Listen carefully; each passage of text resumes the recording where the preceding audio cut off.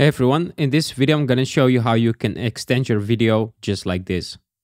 So the original video was actually vertical mode and then I extended this with Photoshop and DaVinci Resolve. I'm gonna show you how to do this. Alright, into DaVinci, first of all make sure you record your video first and then just import your video into DaVinci. Now you want to select a frame somewhere from the center where it's not moving around and something like this is fine. Make sure you use a stabilizer so your camera doesn't move from its place. That's really important. Now, once I have a frame from the center, I'm going to go to File, Export Current Frame as Still. And this will export this frame as an image. So here we want to select PNG so you don't lose quality. And let's just export this on my desktop. And now I'm going to go into Photoshop. All right, into Photoshop, I've opened this still that I just created in DaVinci in Photoshop now. And what we do now is we need to extend this shot. So let's go and select the crop tool here, press right mouse and select 16 by 9. Now, if you hold down Alt or Option on Mac, we can stretch it out to the center like that. Just make sure the top and the bottom is right clicking there. So it's perfectly in the center. Then press enter. And now we can create some areas around our still. So let's select this area here. I'm gonna select a bit more from the still so it doesn't cut off at the edge and then click on Generative Fill, no keywords and let Photoshop generate this with AI. And after that, we can add some stuff if we want to, but first let's make sure Photoshop is gonna fill this area with AI. Now you can see we created some areas here. Now here you have different variations. Sometimes it works, sometimes it doesn't. I think this one looks fine. Let's also do the same for the other side. So I'm gonna select the other side here, take a bit more like that, then click Generative Fill and generate this with AI. Now, once I'm happy with my surrounding of the still, I can export this and import this into DaVinci and then we just need to make a mask and we're done. Right, so let's see which one we want to use. Let's just use for the sake of the video this one.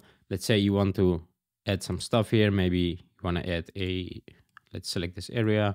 Maybe you want to add a pillow here or something you can just use your imagination, add stuff. And if you want to remove stuff from the still, just select those areas and then write no prompt and Photoshop is gonna remove some stuff. So if I want to remove this painting here, I can just select this painting here and with no prompt, Photoshop will remove it. Right, so this is fine. I'm gonna keep this one. What I'm gonna do now is let's flatten this image and then I'm gonna go to export, save for web, and I'm gonna use PNG to export this as a PNG file and import this into DaVinci. All right, back into DaVinci. Let's first take this clip and put it on the second video line so we have space underneath it. Now, what I'm gonna do now is I'm gonna import this image that I just created in Photoshop and stretch it out through the whole video like that. And let's go to the settings of the project here. And you can see here we have the timeline resolution. It's still vertical resolution. So the only thing I have to do here is select this one. So it's horizontal, right? And I can see here it's filled up this whole area. Now you can see here the corners are not quite good. So we can easily fix this by clicking on our movie layer here. Then go to color. And here you want to select the window, this one, and then with the pen tool, we can select our area. And now we can just simply make a selection of ourselves here, just like that, around it. then we want to press right mouse here and add alpha output. And let's put this one here and that one there. And I can see it's made this mask for me inside this room and it works perfectly fine. You can see here we fixed our video. And that's how easy it is to create this kind of effect in Photoshop and also with DaVinci.